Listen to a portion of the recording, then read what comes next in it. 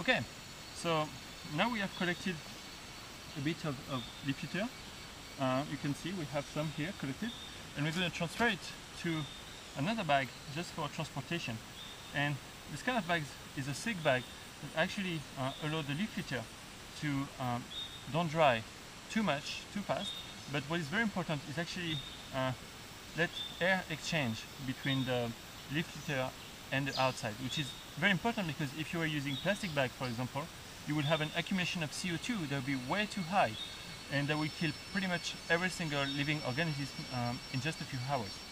So we're going to transfer now this inside.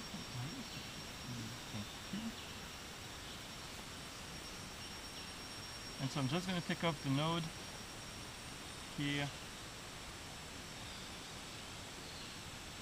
Open.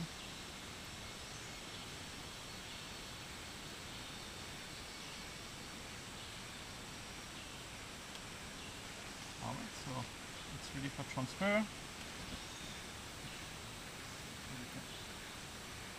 en fait le, bord vers le haut, plus dedans.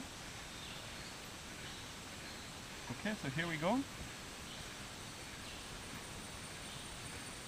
And so we just shake things well so we don't have any ants or other arthropods left.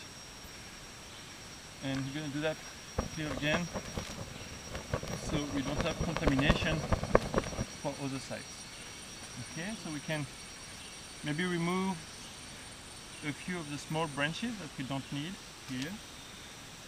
And we already take a look and there's lots and lots of things living in it that we can see crawling. So here we have a spider actually. Let's try to escape. We're going to put it back inside. And we have a, a cockroach right here. And of course we have a lot of ants.